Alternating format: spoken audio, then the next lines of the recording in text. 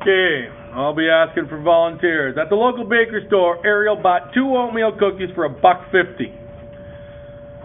Mel bought a half a dozen oatmeal cookies for four fifty. Becky bought eight oatmeal cookies for six bucks. Use a graph to represent the situation. Part B says, do the number of cookies and the cost have a proportional relationship? Explain.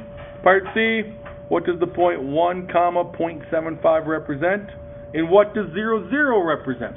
Okay, lots of information. First of all, let's go graph this. If I got two oatmeal cookies and I spent a buck fifty, so put a dot right here.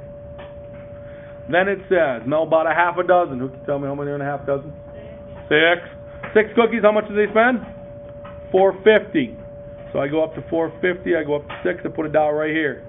And last but not least, six bucks is gonna buy me eight cookies.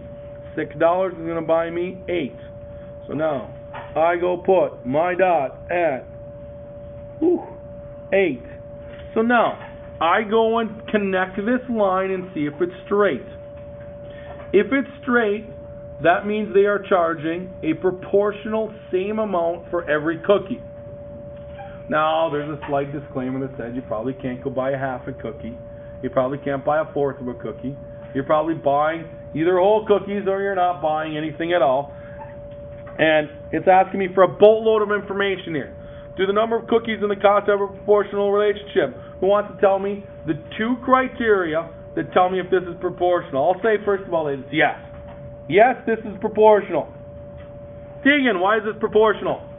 Because the line is straight and it starts at zero. zero. Straight line and starts at zero comma zero. It always that oh, and then yes, also you're gonna get a bonus point. You're gonna get that little Einsteinian point that you're gonna be a little smarter, and you're gonna say it starts at zero comma zero, or what do we call that? The origin. Origin. Awesome. Straight line starts at zero zero. Now it's kind of nice once we get that line there. If we expand it out, we can we can calculate things very very fast by looking at a little chart and whatever else. What does the represent? What does the point represent when I have one comma point seven five? I'm going to zoom out so you guys can still see the graph then. Now this means x. This means y. X is always listed first, Y is always listed second.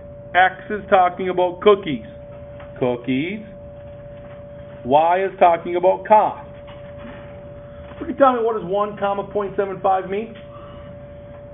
Alexis. One cookie is is 75 cents. Now, uh, be careful when you write tomorrow. If you want to use a dollar sign, use a decimal. Put dollar sign 0.75. That's what I'd prefer. Or you could put the cent sign. Or you could put 75 with the cent sign, but I don't think we use that as much anymore. One cookie is 75 cents. Then, what does the point zero zero mean? What does zero comma zero mean? It means if I don't buy any cookies, I'm going to spend no money. No cookies. Bought means I spend no money.